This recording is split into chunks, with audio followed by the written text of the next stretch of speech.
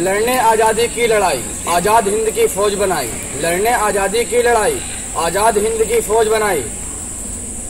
जिसने आज़ादी की कसम दिखाई, उसने भी कसम खूब निभाई और दुश्मन को धूल चटाई जी हाँ मैं और किसी, मैं और किसी की नहीं। उस भारत के महान क्रांतिकारी की बात कर रहा हूँ। जिसने भारत की भारत की स्वतंत्रता स्वतंत्रता के लिए अपनी जान तक कुर्बान कर दी। कई बार जेल गए, कई बार जेल गए लोगों को लोगों को संघर्ष के प्रति जागरूक किया।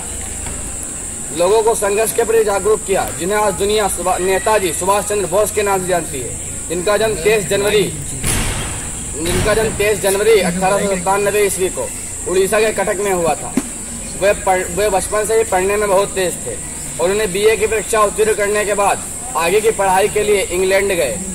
सितंबर 1919 में इंग्लैंड पहुंचकर उन्होंने इंडियन सिविल सर्विसेज़ की सेवा इंडियन सिविल सर्विसेज़ की परीक्षा उत्तीर्ण की और वहाँ पर आईसीएस की नौकरी कर ली। किंतु भारत माँ का यह वीर सपूत अंग्रेज़ों की गुलामी कैसे सहन कर पाता?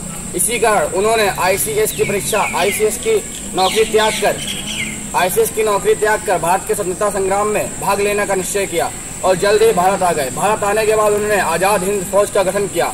जय हिंद का नारा दिया और लोगों से कहा, तुम मुझे खून दो, मैं तुम्हें आज़ादी दूँगा। धन्य है वो माता पिता धन्य है वो देश। धन्य है वो राज, जहाँ पर उन्होंने जन्म पाया। धन्य है वो माता पिता जिन्होंने ऐसे महान क्रांतिकारी को जन्म दिया। उनके विषय में जितनी तारीफ़ की जाए, उतनी कम है। शायर ने भी क्या खूब कहा है कि घोर अंधियार है, उजास माँगता है देश। घोर अंधियार है, उजास माँगता है देश। छाया पत्र जड़ है, मधुमास माँगता है देश। छाया पत्र जड़ है, मधुमास माँगता है देश।